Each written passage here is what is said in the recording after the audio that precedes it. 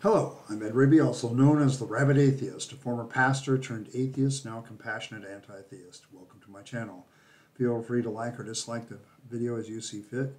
Feel free to comment below, and uh, I would appreciate it if you would subscribe to the channel and hit your notification bell for more content as is released. Uh, you're also free to share my videos as much as you like, uh, because the purpose of this channel is educational in regards to atheist and deconversion issues, and any related issues related to those issues. Uh, today we're on another journey, another week of Sundays with the Rabyd Atheist, and uh, kind of I'm taking a little bit different approach. I'm just trying to give you something, and uh, that'll be better than going to church on Sunday. And uh, that's probably why I'm going to start dropping these videos when I did at 10 o'clock in the morning. I'll be at work, but you know, it won't be a premiere uh, necessarily, but it'll give you something to, to listen to instead of going to church service and uh, wasting your time there.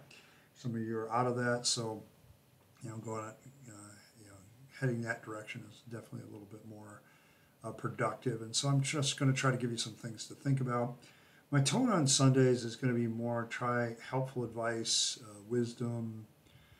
Uh, you know, I, I, have a great deal of compassion as to as to you know. You probably saw the title today. I'm looking at uh, seven deconversion tips, you know, that I've learned through painful experience and going through it and and being, you know, a person who has deconverted. And I want to talk about uh, some of the things I've learned today and kind of help you out. And that's kind of where I want these Sunday broadcasts to kind of go. I, I I'm going to do that, and then if there's any other comments or issues that people bring up, I'll be glad to address them here. Um, Today, I want to talk about seven things, seven deconversion tips, seven things that I've learned going through deconversion that I want to pass on to maybe some of you that are not as far into it as I am. You, you uh, have been. Um, if you know my story, I've been deconverting pretty much since 2015, so it's a eight-year period.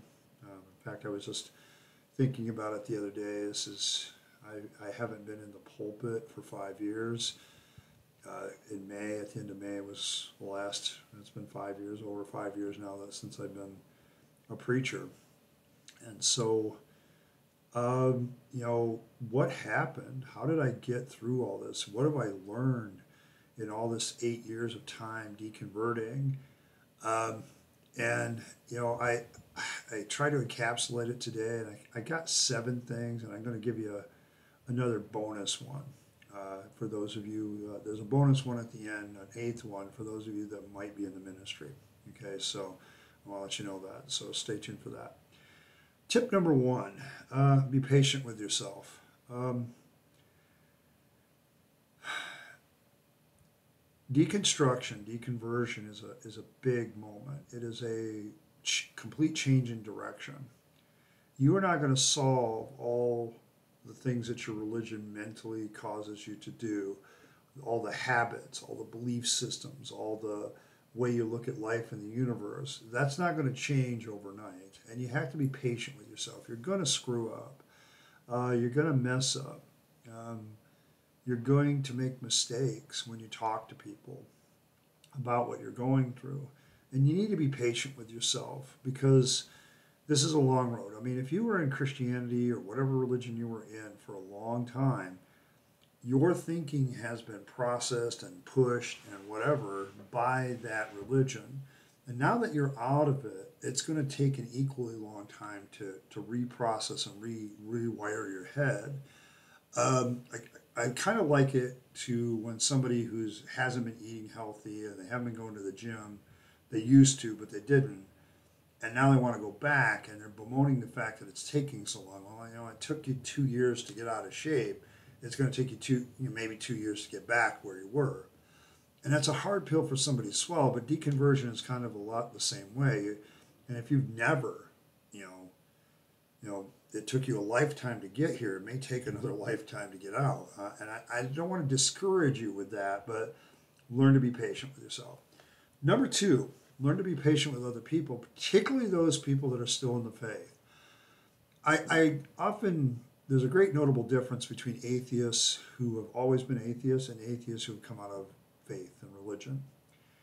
Uh, and that notable difference is usually their level of patience with with people that are still believers. I I find myself I'm very empathic with people that still believe. I still I think I'm much more tolerant of their beliefs. I know that some atheists, uh, you know, will explain the truth to people, and then the people still believe what they believe, and it's like, oh well, now you're deceiving, you're being deceptive, you're lying, and it's like, no, they genuinely still believe.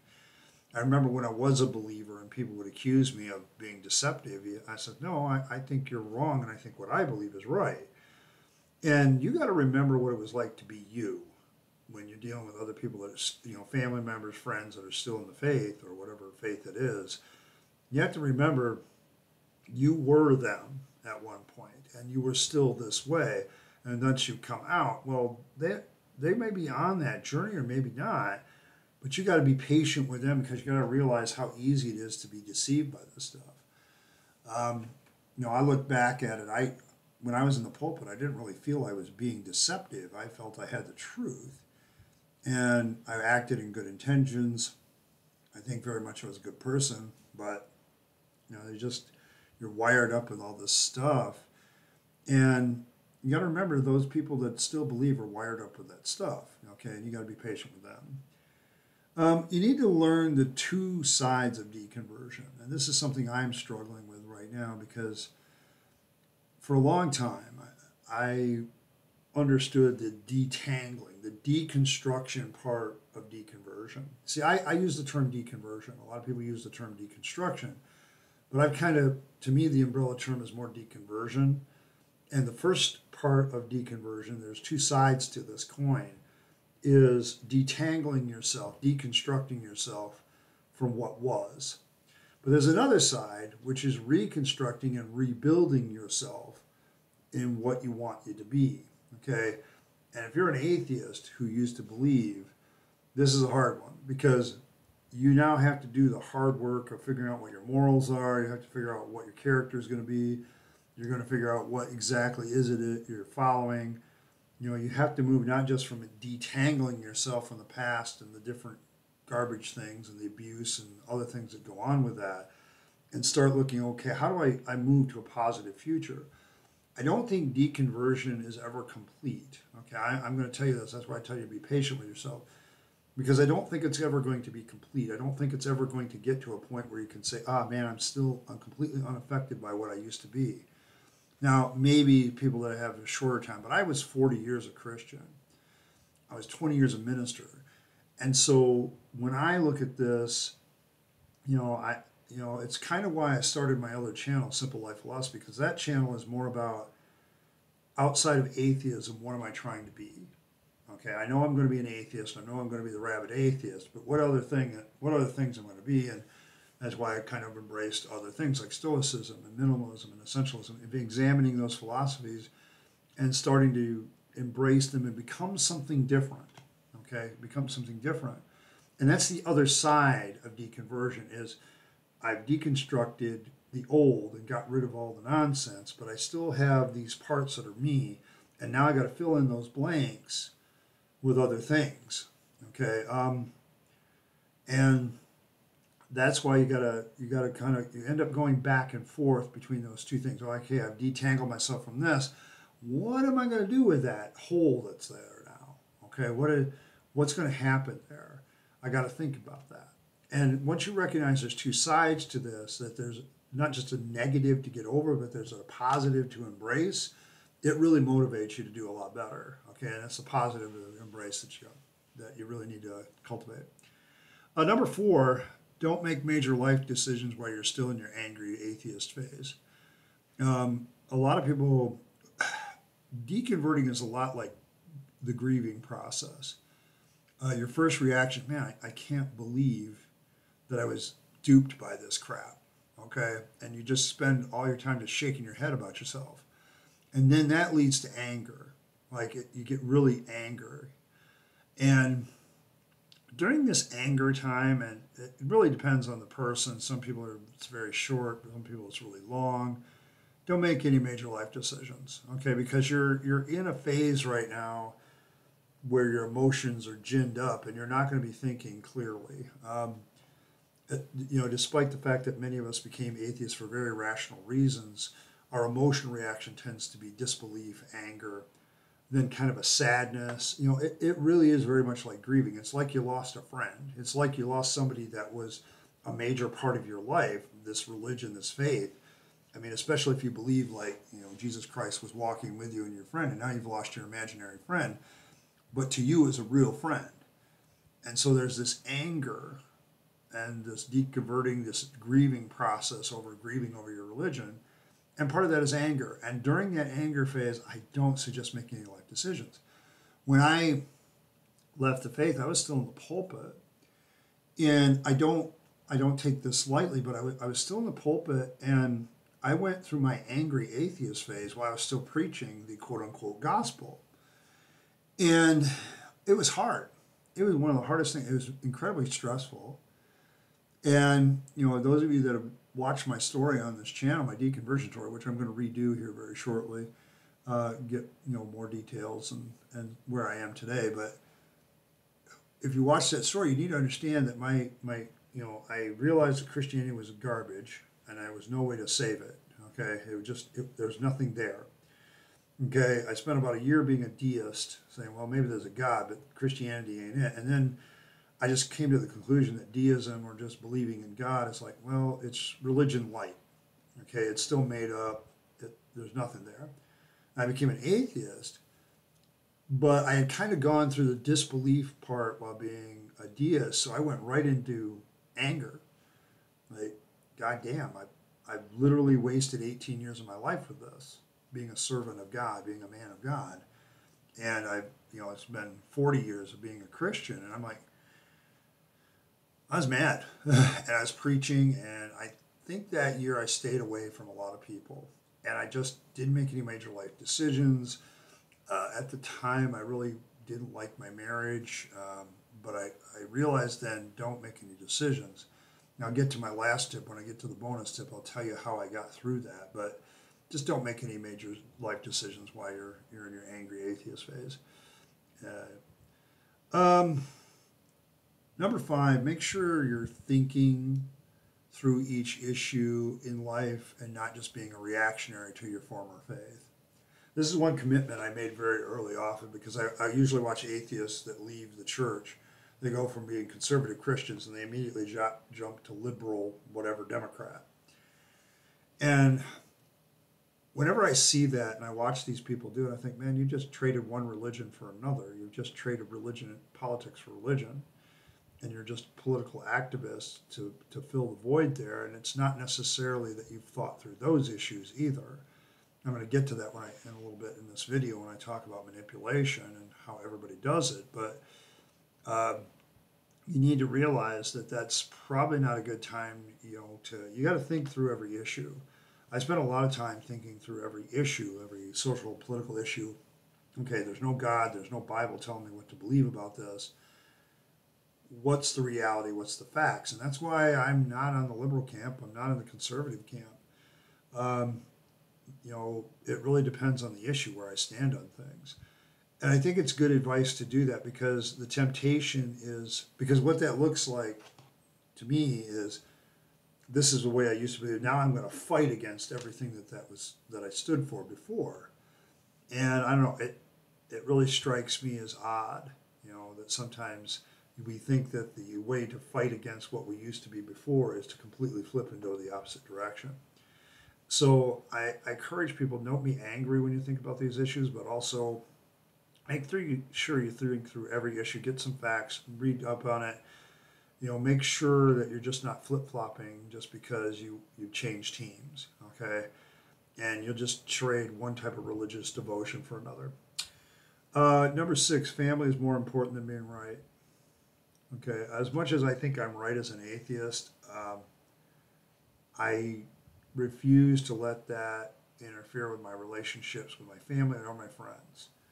And, you know, I'd rather have my friendships and I'd rather have my family than be right.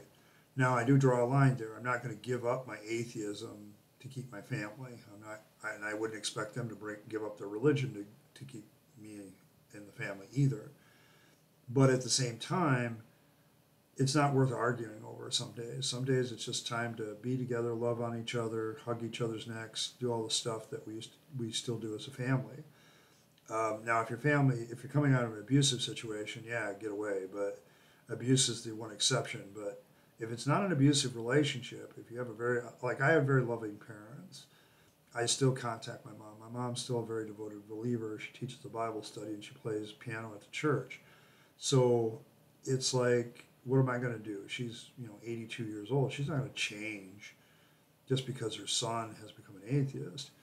Um, but you know, I love my mom. Okay, and I'm going to continue to love my mom, and I'm going to continue to hug her, and I'm going to continue to be good to her and take care of her because she's my mom. And I think a lot of atheists, you know, they're, you know, sometimes sometimes it is abusive situation, but other times it's just you got to remember where they're at. They're not where you're at. Going back to you know rule two: be patient with others. That especially is important with your family. And in some cases, your fam- you still need the emotional support of your family just to live life. So make sure you have that. Um, number seven, and this is one that's new for me. Sometimes it's important to find a new cause. And I originally thought that I was going to become a teacher and education and educating people was my cause, but I think I'm burned out of that. I was a school board member for a long time. I've been involved in education. I was a Christian education director and so now there's some things even when I was a public school teacher, I'm like, eh, gosh, that's a lot like indoctrination, you know, and I'm I'm chomping at you know growling because I want to say something, but it's like eh, it's my job. Um, and I just don't think that that's it. I think I educate, but YouTube is more my my platform. So that's kind of where I'm at. Um, and then as I worked through my therapist when I got back to Michigan and the idea of me being autistic came up. I'm like, God, you know, that might be it. Um, so I'm very much a, a person for adult autism awareness because one of the great tragedies, I think, of the passage of time for like me, you know, as a Gen Xer, um, when I was growing up, none of this autism stuff really existed. They were still coming to terms with people, the fact that people were dyslexic, and you know other you know challenges that people had. And the autism kind of creeped up in the 90s, and then you know everybody yelling about this caused it, that caused, and everything. And really, it's just bottom line, it's probably genetic. Um, it, you, some people are just born this way, which is why a certain percentage of people are introverts, and part of that might be autism. It doesn't de- have to be a debilitating thing, but it is makes you look at the world differently. When people ask me what motivates me on this cause, is because it makes a lot of sense for me because all my life I have felt like a stranger in a strange land. I have felt like an alien from another planet, like I didn't really belong. Um, and very few people pulled me out of that. And now I'm beginning to realize that probably a lot of my friends that I grew up with, classmates, things like that, they're experiencing the same thing. And now we have a name for it. And I kind of reminded of the story of my father who discovered he was dyslexic when right before he died. He was like 48, and then so somebody suggested him, you know, I've never been able to read very well. And one son said, well, maybe you're dyslexic. And he looked it up, you know, we started to talk about it, and sure enough, you know, and it was a really enlightening thing for me because he always hated the fact that he couldn't read very well. You know, he always felt like a dummy. And you know, and this is what he said to you. I always felt like a dummy head, but it's just my brain and my you know my eyes just don't see words the same way everybody else does. And for me, it's kind of the same kind of revelation. Only I hope I have a lot more time to deal with this, and so that I, you know, down the road I can have a happier life. Um, I suppose in some ways I've lived a better lifestyle than my dad when did when he younger and things like that. So I'm on a better path. But you know, I feel kind of like that that story motivates me to say, you know, it'd be nice if a lot more adults who are struggling with I just don't fit in, I feel like an alien on a different planet could get that help. Oh no, no man, you're just autistic and there's ways to overcome this and feel better about yourself and feel better about living life. And so finding a cause can sometimes replace that fervor you know, that you used to have with the cause of Christ or Islam or you know, um, you know Hinduism, whatever you came out of. Okay, um, just finding something where you can benefit people and help people out. For me, it's all about autism awareness and getting adults over the stigma of thinking they're autistic. I remember when my therapist said it, it was like my first reaction, oh, that can't be true. But it's like, Ed, learn to think about this. It could be true. Uh, so find a cause. Uh, my eighth bonus for those of you that are in the ministry, contact the Clergy Project. When people ask me where I got my therapist, it was the Clergy Project. Now they only give you like 12 weeks of free therapy. But my therapist has stuck with me and she's made it very affordable for me to, to get help. And that's why I don't tell you who her name is or where she is because for me, I don't want people just, you know, bugging her about that. But if you are a member of the clergy, if you are a pastor, a minister, a priest, I strongly suggest that you contact the Clergy Project and get in because they will help you get through stuff. Um, and they were just wonderful for me. They, you know, my career counseling was in there too, and they kind of led me onto something. And I remember when my career counselor suddenly realized, you're, you're, you're different. You, you've been a something all your life, and now you're trying to figure out something else. And yeah, you know, it, it helped. Okay, so bonus tip eight for your use in the ministry contact the Clergy Project. I want to talk uh, a couple of things. I want to talk about um, one more thing about manipulation because this relates to a comment. I'm going to deal with comments, but the comment of the week, and I don't, rem- I couldn't find it, and I feel bad about this, but I think it was Jenna, uh, who's been a longtime subscriber um, and follower of mine on, on multiple platforms. Um, she asked me, I think, about the right-left dynamic of politics in the United States. Well I could talk about that, but I could also talk about how how manipulation works. Okay, manipulation. The way you manipulate somebody is very simple. It's it's so simple that it's scary at times. But if you can get somebody afraid, if you can get somebody feeling shame, if you can get somebody feeling anger, if you can get somebody uh, basically getting them into an emotional state of where they are very highly emotional and they're not thinking, then you can implant ideas in that emotional state. And because a person's defenses, their rational defenses are down, they will be more likely to accept that. Okay? Using religion as my first example, because a preacher gets up there, and this is how I deconverted is when I realized this is what I, the hell I was doing. Okay, I was making people feel guilty about being sinners and making them feel guilty about you know having sin in their life and doing the wrong things. And then I was offering them up a cure to a problem they didn't really have because I was implanting the idea at that point when they're feeling ashamed and they're feeling bad, you know, you know, you you've sinned against God and all this stuff. And then I'm implanting this idea of, you know, salvation is through Jesus Christ. All you do have to do is accept this. I'm offering up a cure. Um, and I've talked about this before. It's a, sin is a problem that doesn't actually exist, the, and we're selling them the cure. And it was that moment that I was realizing, son of a bitch, I'm manipulating people. Because then we take up an offering and they put their money thanking me for giving this this relief through Jesus.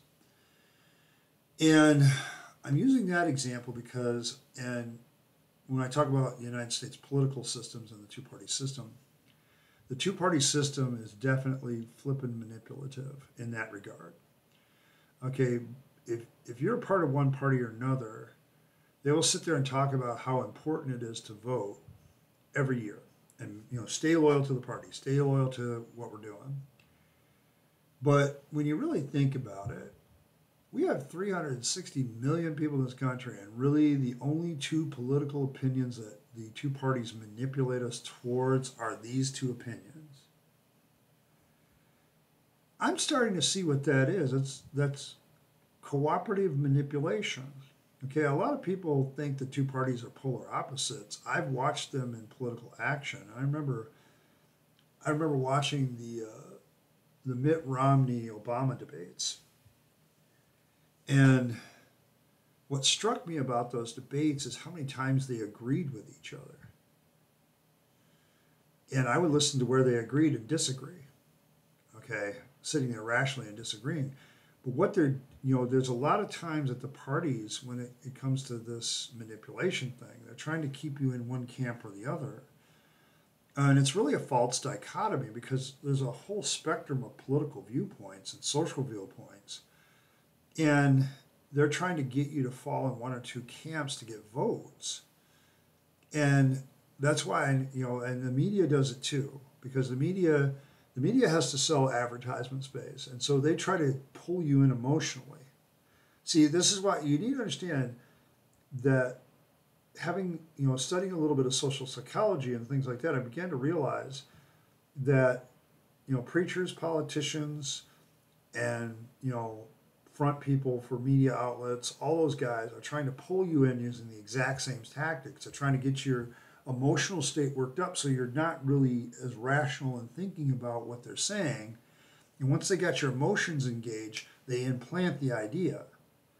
And you're more likely to accept that planted idea because your emotions are all ginned up. It's why the religious right does guilt. It's why the woke crowd does shame. Okay, I I don't play favorites. Sorry, I don't. Um, I dislike the tactics of both those groups. And one of them is on the right and one of them is on the left. And nobody knows how to have a rational discussion anymore because media, everything doesn't want you to have a rational discussion. Because if you had a rational discussion, you might actually come up with a solution.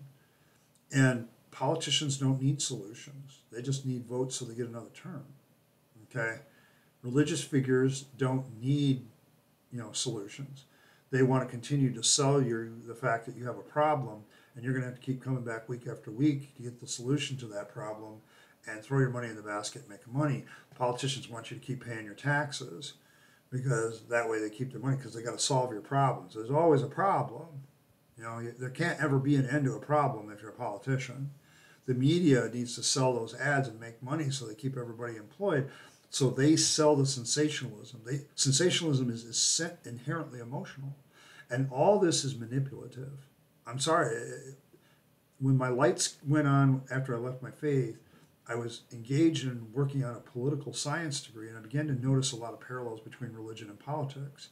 And then I took a class in the media, and I realized, holy crap, the media does the same flipping thing.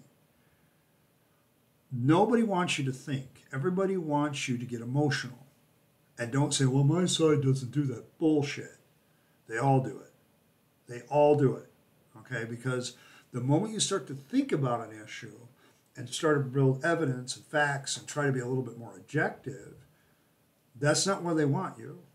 Okay? They want you in a place where they can implant that emotional idea. And so uh, Jenna the two party system, in my opinion, is A, inherently manipulative, and B, um, kind of a false dichotomy because um, nobody really falls all right or all left. Okay, none of us are all religious right, none of us are all woke left. Um, none of us are that kind of level of ideological fascism, most of us, where we think everybody else should think like us. But that's where they want you emotionally. Everybody needs to be us. And, you know, I just look at it now and it's like it's a game. And it's a game of trying to gin up people's emotions so they don't think. And then you get them to act a certain way. It's all about taking advantage of creating basically mobs and then taking advantage of the mob, okay, and making the mob work for you. Um, and so you got to watch it. Uh, I, I'm sorry, I, I, maybe some people will disagree with me, but I don't see anything different between the tactics of the media, the politicians, or the religious figures, and it doesn't matter what where they're on the spectrum or any of that. It, they all use it. They all do it because they know if they can engage your emotions. Now, one last example: I know from preaching.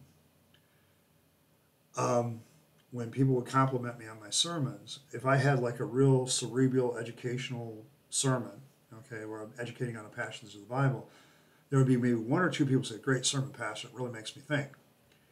If I did a real emotional, pull at the heartstring, get people upset, uh, get people ashamed sermon, and get done, I get, everybody would shake my hand. Now that's anecdotal evidence, but I bet if somebody studied that, you'd get the same results. That emotionalism gets people more involved, it brings people in, and it's easier to implant those ideas. And that happens everywhere. It's why when I read Stoic philosophy for the first time, I'm like, this is this is what what nobody wants you to know. Okay, um, you know, if you're offended, you're easily manipulated. If you're shamed, you're easily manipulated. If you're angry, you're easily manipulated. In those moments, you're not thinking rationally, and people will implant ideas in your head for their own nefarious purposes. They may have good intentions, but you know you're not being yourself at that moment because you're not being rational. Uh, a couple other comments to deal with, and I'm to have to sign off. I don't want to go too long here, but um, I've already hit the half hour mark. But um, I had a comment about Islam. What do you think about Islam? Uh, I think the origin story is about the most batshit crazy thing I've ever heard. Literally, a guy goes into a cave. He quote unquote can't read and write, although he demonstrated that he could read and write later. Um, but he gets a book, you know, from some place, some angel, and it comes out no witnesses, no witnesses to this, by the way. And somehow I'm supposed to accept that. That's got to be the most nuts story I ever thought, heard. Origin religion story. We're just going to believe a guy because he says so. We didn't see it ourselves, but we're just going to believe it. And I've read the Quran a couple of times. Okay, I'm going to tell you, the first impression I ever got of the Quran was that it was written by a committee, and then I found out what the origin story of the Quran was, and indeed, it's written by a committee. Um, so that makes it make a lot of sense. Uh, a couple other comments. Um, I got a weird one. Uh, somebody commented on my, you know, go see a dentist, and it's like, uh, yeah, you know, I'm, I've had I have crooked teeth. My parents were poor. Um, something I embrace. Uh, if you don't like my teeth, don't watch. Uh, you know, don't go away bad. Go away, but don't go away mad or upset about my teeth. Just go away. Um, there's a couple others, but you know, uh, they escape me now, so they couldn't have been that important. Um, but you know, if you want my your comment noticed, you know, probably being insulting is just not a good way to do it. Um, you know, I, I can put that on there. But so I think that's it for today's uh, Sunday with the Rabyd Atheist. I hope you've learned something. I hope you've enjoyed something. And hey, it's better than going to church. So um, thanks for stopping by. I appreciate every one of you. Uh, like the video, dislike it, uh, share it with your friends. Uh, but most importantly, subscribe, get notified, and comment below. I'm always interested in your comments. Thank you very much for stopping by. I appreciate every single one of you. And, uh, you know, you have a great day, have a great Sunday off.